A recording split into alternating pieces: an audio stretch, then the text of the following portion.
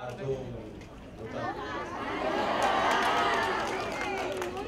Pero, nagpunta ko kami dito para makita ka ako nangyari tayo sa lindol kahapon. Ah, nakilos na nga ako, bakit nababa nga ako dito, Ted. Para papasok Ma'am, na ma'am. napaya ka ako. So, Hindi sagot ko eh, may gusto nyo, kayo mo susunod, gusto. Yung may briefing ako na nakaikot na yung mga membro ng kabinete natin pagkatapos po natin dito. Ah, uh, ko sa mga tulay, apat briefs na, na tulay. At tatlo. Tatlong tulay ho nasira. Yung isa ho doon nakaschedule na talagang palitan by next year. Mapapagawa yung pagpalit. Mabubuo natin to within the next 4 weeks, temporary, no?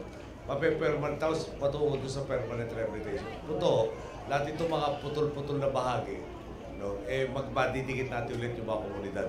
Yung kuryente ho, 75% na may babalik by this afternoon.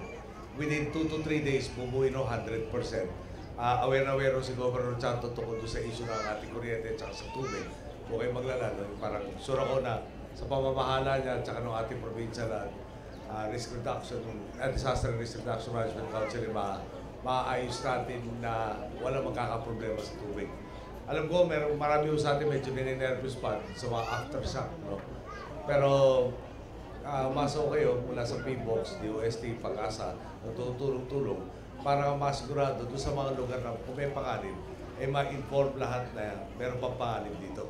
So, kung wala akong abiso sa inyo gano'n, sana ho huwag tayo masyado mag, ah, yung magkaroon ng agam-agam o nervyos dahil siyempre marami hong kung ano nung um, opinion at saka kuro-kurong lumalabas dito.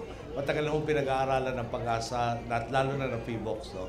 at pati na rin ng DNR sa kanilang Geo, ah, Mines and Geosciences Bureau na kung alin ang mga danger areas. So, doon scientific analysis at uh, natuno nakatukoy para mabigyan kayo ng tamang impormasyon para masiguradong ligtas kayo.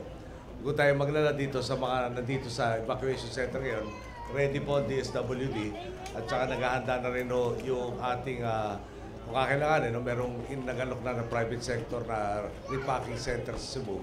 At doon rin nakabase yung C-130 na isa para mapapadali yung pagdating kung kakailanganin po natin dito.